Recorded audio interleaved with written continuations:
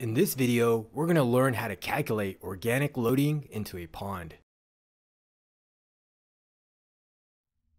Calculate the organic loading into a 90 acre pond if the influent flow rate is 1.5 mgd and the influent BOD concentration is 210 milligrams per liter. First, write down all the knowns and the unknown. They give us the pond surface area, the flow rate, and the BOD concentration. And for the unknown, they're asking for the organic loading going into this pond. Next, write down the formula you need to solve this problem. They're asking for the organic loading into this pond, so let's write down that formula. Pounds per day of BOD divided by pond surface area. Do we have pounds per day of BOD and the pond surface area? If you look under the knowns, we have a BOD concentration in milligrams per liter. We don't have the BOD in pounds per day, so we'll need to solve for that. What about the bottom of this formula? Pond surface area. Do we have that? Under the knowns, they gave us the pond surface area as 90 acres. Let's plug in what we have into this formula. On the bottom, 90 acres. And on the top, this is the pounds per day formula.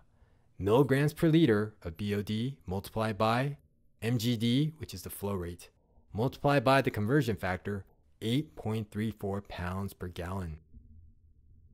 We have milligrams per liter of BOD and MGD, the flow rate. If you look under the knowns, we have the BOD concentration 210 milligrams per liter, and for the flow rate, 1.5 MGD. Let's plug in these two numbers into the top of this formula. 210 milligrams per liter multiply by 1.5 mgd, multiply by the conversion factor, 8.34 pounds per gallon.